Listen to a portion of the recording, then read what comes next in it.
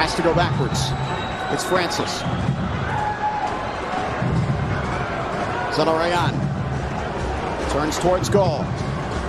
Keeps it low. Little flick on. It's Berry! Tied it two!